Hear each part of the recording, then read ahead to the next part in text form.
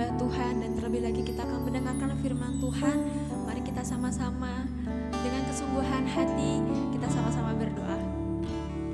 Tuhan terima kasih untuk pagi hari ini. Terima kasih Tuhan kalau Engkau masih mempercayakan kami hari ini untuk kami boleh berjalan bersama dengan Engkau Tuhan. Kami mau Tuhan mengawali hari ini dengan perkenananmu. Engkau boleh menjamah setiap hati kami juga pagi hari ini Tuhan. Kami siap datang kepadamu pagi hari ini. Biarlah Tuhan pagi hari ini kami boleh mendapat sesuatu yang baru. Kami boleh mengalami terobosan yang baru. Terima kasih Tuhan.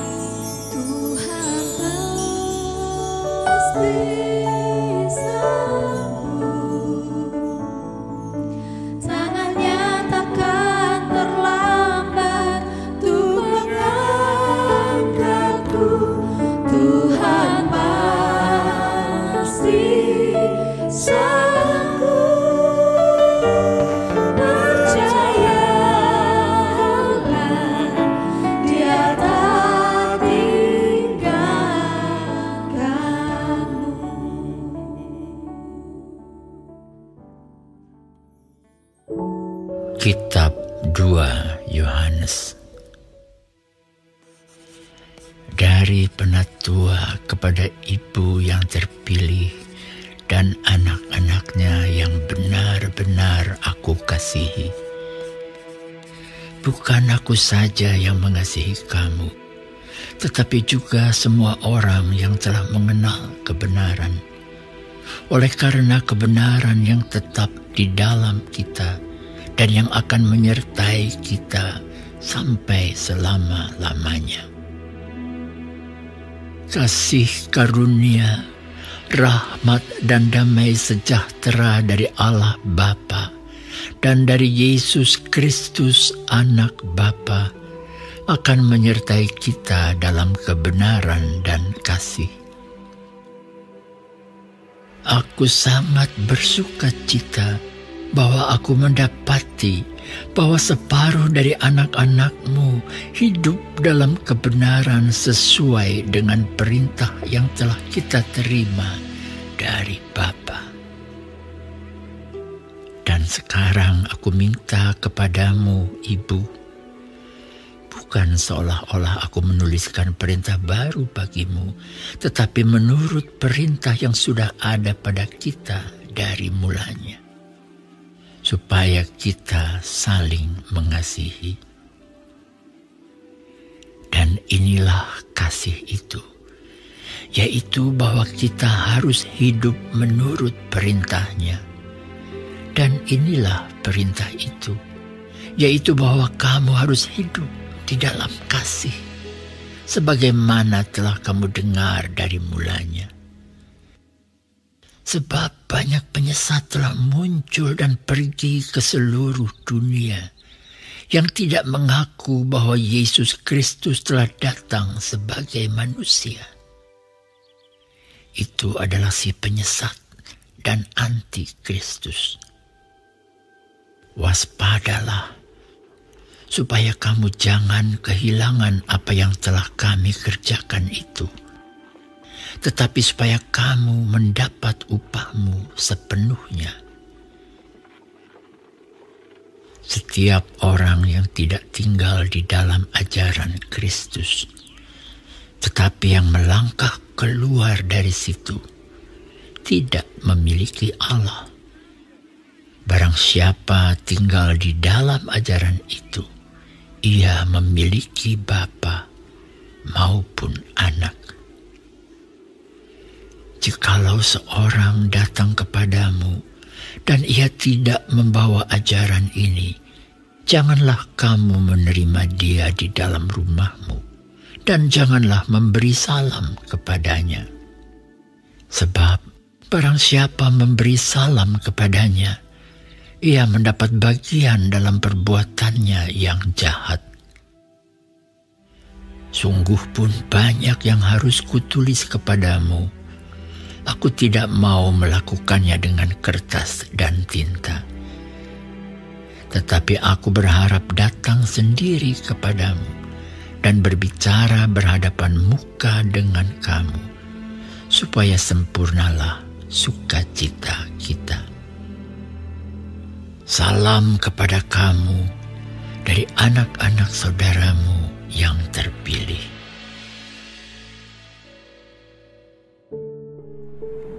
Tuhan Yesus, terima kasih untuk pagi hari ini.